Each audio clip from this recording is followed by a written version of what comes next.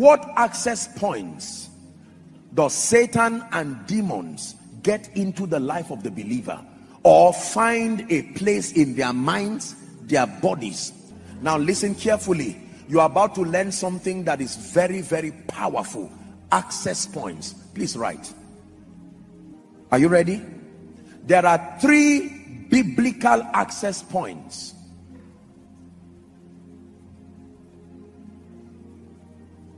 Number one, covenants. Aha. Covenants. Write it down. The first access point that gives Satan legitimate access to the lives of men, sadly, including believers, covenants. Please just write it. Number two, ignorance ignorance. Number three disobedience. These are the three biblical access points and the only access points that satan has. If you ever find satan manipulating a life a destiny a region a family i don't care how long i don't care how great Believe me when I tell you, it is one or more or all of these access points. Number one, covenants. Number two, disobedience, ignorance. Number three,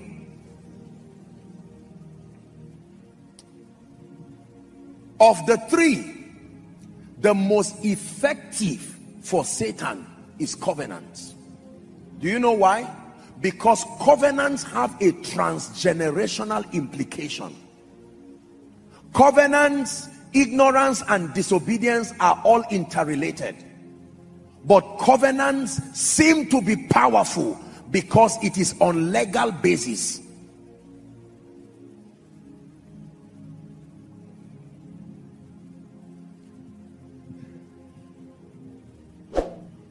Let me touch on covenants The idea of covenant was not invented by Satan. The idea of covenant was invented by God. It was God's own intelligence to manage the inconsistencies and to manage the emotional frailty of man. Listen carefully. God gave man a will and the fallen man by his design is frail with several emotional vacillations and if man is going to partner with God sustainably, there has to be a way of binding man that is greater than his emotions. Covenants. Because covenant is a non-emotional activity. That means you can't just decide to change it. Anything God wants to do with man that he wants to take seriously, he will tie a covenant to it my covenant will I not break nor alter the thing that is gone forth from my lips. You know believers play with the idea of covenants and you will see that everything God takes seriously marriage he took it seriously and he tied it to a covenant. Do you know why? Because he knows under normal circumstances the couple can run away by the next day so he put covenant, a non-emotional binding, so that it's not about what you feel or you don't feel. There is an influence that is higher than your emotional vacillations. Salvation is a covenant. Whosoever believes him. If not, there are people who can be so bad, they don't deserve to be saved. However, because it is a covenant. Whosoever calls upon the name of the Lord, it does not matter who that person is provided you confess with your heart. Let me tell you if you are given the keys for salvation there are people whose level of evil if you see them you will tell them don't near this altar. However because it is a covenant whosoever believes in him even if you are Saul even if you are Paul whosoever the only personalities that salvation does not capture are fallen angels salvation is not for angels and non-human spirits I'll be teaching you the rules of engagement. That is why Satan and demons cannot be forgiven. Mm -mm. Salvation is for men. Salvation is for men. The benefit of salvation extends to creation. But animals don't have to give their life to Jesus. They are already under the dominion of man. The same way when Eve ate, nothing happened till Adam ate. That is the same way. What animals and plants do does not matter, provided the man in control is still in touch with God. Are you seeing that now? Animals and seas and all of this only are harsh to man because man had willfully given his authority to Satan. I pray you're getting what I'm teaching you. Covenants are very powerful. Everything that God wants to do with you, if he wants to take you seriously, there will be covenants. Because by the frail nature of men, that's why you hear that there are relationships called covenant relationships, non-emotional. Is that true? When you get a job, watch this. It may not be called covenant, but there is something given to you called an employment letter. Is that true? It clearly spells the terms you are going to be giving 500,000 every month. They calculate it for you per annum. You have 30 days, one month leave. You can spread it three or four times. They give you all of those things and then you sign. The signing is a declaration of your consent that if for any reason I violate these terms, is that true? The company has a right to punish me based on their modus operandi. And that if I comply with these terms, I have a right to take the company to court for defaulting covenants. Say covenants. That is the reason why when Satan came to our forefathers, he did not suggest. He called them and said, you want me to help you? Let us have an agreement. Now you see, an altar is simply a system of authorization. Again, we'll discuss that next week. When we talk about altars, an altar because you will see that what we call the mercy seat in heaven in fact God himself sits his throne is an altar a system of authorization let us therefore come before the throne of grace that we may obtain from that throne he literally sits on an altar. An altar is a system of authorization. The assignment of an altar is to insist that the terms of a covenant remain binding even when those who initiated it are no more. An altar is the spiritual system that supervises compliance to covenants. There is no true covenant until there is an altar and that altar is built and ratified with blood. So that even though our forefathers have long gone even though those who brought all kinds of demonic things have long gone but the altars that represent the witness are still there. So after 50 years 100 years the spirits have legitimate access to the people within that region and every time you want to accuse them they go back and make reference the altar remains a witness i am not an illegal occupant in this land I was willfully invited and your forefathers and you were in the loins of your forefathers. That is the reason why the sacrament of the communion and the sacrament of baptisms, these are covenant type things too. How did you get into Christ? It was by the mystery of that covenant. Drink this. This is my blood of the new covenant. Do this as often as you can in remembrance of me. Hmm. Are we together now? Watch this. When the angel of death was going to pass over Egypt, remember the condition for salvation was not your personal righteousness, whether you are a Jew or not. Just find a house.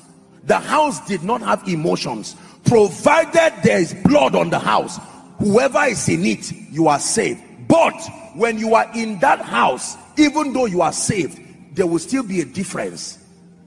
If you wanted to become a Jew there, you have to submit yourself to circumcision. However, as far as safety from the angel of death is concerned, the angel does not see men. He's looking for the blood. You know why? Because the angel of death was mandated to kill everybody and like we say in theology when he came to some homes he found them already dead. Because the blood is a sign that the death that should happen has happened. So the angel of death will pass. As far as the angel of death is concerned he killed everybody. It's only that when he came some people someone had helped him kill the ones in the house. So he moves to the house where there is no blood and creates blood there.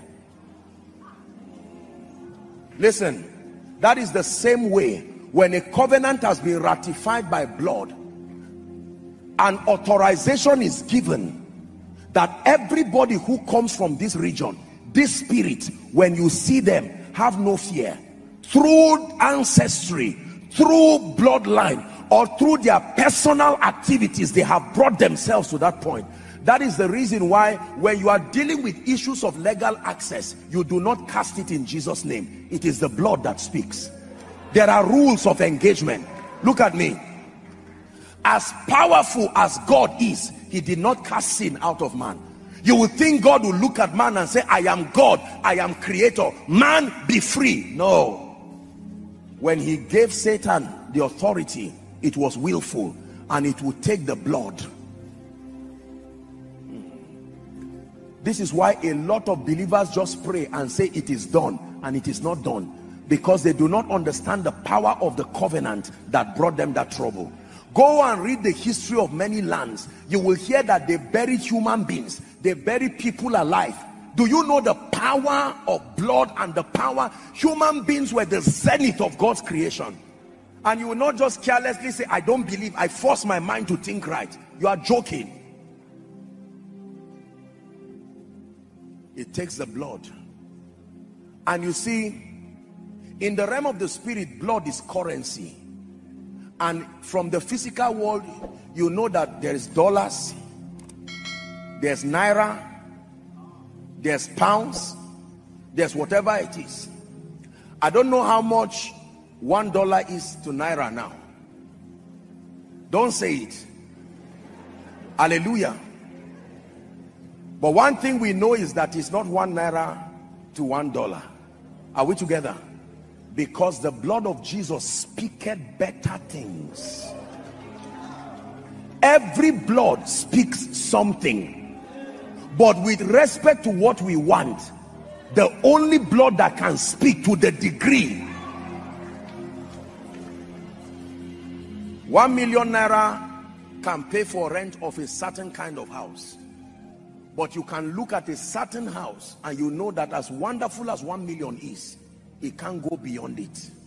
You will need something else. The blood of Abel the blood of bulls the blood of goats they could do something in the realm of the spirit.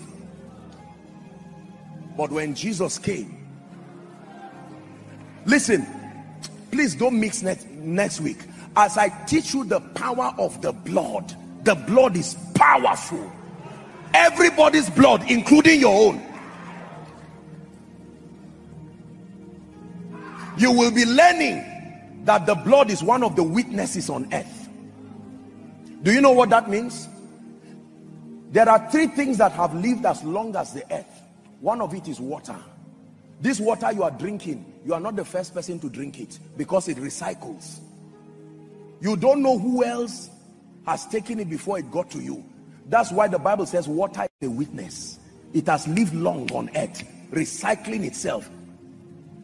And blood nobody invents his own blood. It is passed that means the blood in everybody is typically older than that person except you are denying biology. Is that true? I'm not a doctor but let's be intelligent for god's sake it took that blood to bring you. So the blood cannot be as the same age with you.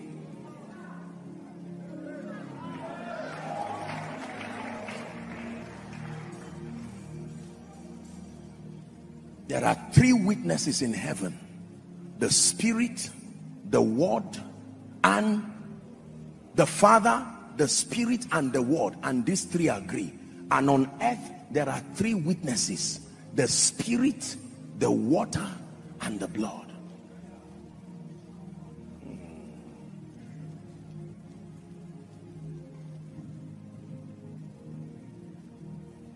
Many of us have found ourselves in situations today.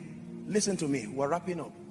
You have prayed and prayed and prayed and fasted, and as soon as you are done with the fasting, the same thing you prayed about happens casually. As if you were wasting your time in all that fasting. You were praying to stop some spirit that is coming to molest you, and just when you finish the last fast, that sleep, you just took a little siesta and that spirit comes again to rubbish your fasting because there are rules of engagement. There are people who will not listen to me. The fact that you are not listening to me is a sign that there is an attack already. That is a symptom of an attack. Listen, I will always tell you, I'm not just speaking from scripture alone. I'm speaking from experience. There are things in your life that will never grow. There are things in your life that will never thrive until you understand the rules of engagement. For everybody seated here under the sound of my voice, listen to me, who is trusting God for some kind of liberty for yourself, for your children, or for your family, please hear me. There are only three access points. As complicated as your life may seem don't let the devil confuse you. It looks like there are one million doorways. It's a lie. There are only three access points. One covenants. Two ignorance. Three disobedience. That's it. So you know what to close to be free and ye shall know the truth. When you know the truth when both the deceived and the deceiver know the truth deception dies. The strength of deception is that the deceiver knows the truth and that's what he uses as an advantage. When the ignorance of the deceived cooperates with the knowledge of the deceiver deception happens. The cure is not necessarily driving the deceiver alone but that the deceived must also come to the point of knowledge. When you come to that point of knowledge now the deceiver does not have an advantage over you.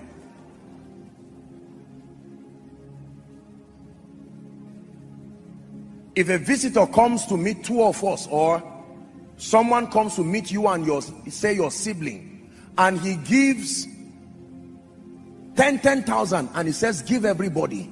If you didn't hear it or you didn't know that there is a share for you there the person can even give you 1,000 and you can kneel down. He can even say go away. This was for me. Is that true?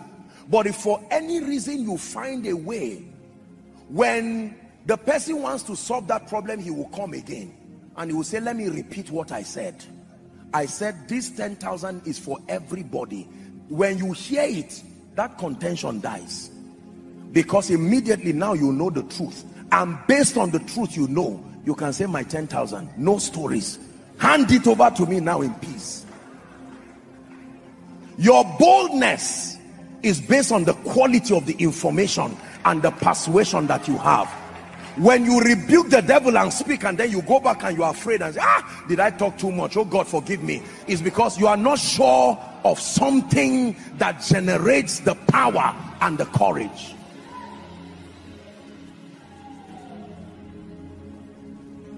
Listen, I have held many charms with my bare hands. I have prayed for many people. This is what I do. I have seen many spirits. I have met many demon spirits. I can tell you the strength of Satan is in his power to deceive. The strength of Satan is in the continual ignorance of the saints. The strength of Satan is in the inaccurate construction of our spiritual understanding. For John 1 5 says the light shineth in darkness and the darkness comprehended it not. When you go to your village you most likely may see shrines. You most likely may see a lot of demonic things around. Just toying it with ignorance will cause you casualties but when light comes I don't know how true it is but I hear is the story of Archbishop Benson Idahosa. When I think someone dropped a dead chicken or something of that sort and they saw the chicken it was supposed to be a ritual for them to die. And they carried the chicken and said we can't waste this chicken like this. And they boiled it and ate it in peace. And they went and slept and they woke up. Because you see before Satan attacks he finds out what God told you. And he finds out the trouble is if you believe what God told you and you know how to make it happen and remain in your life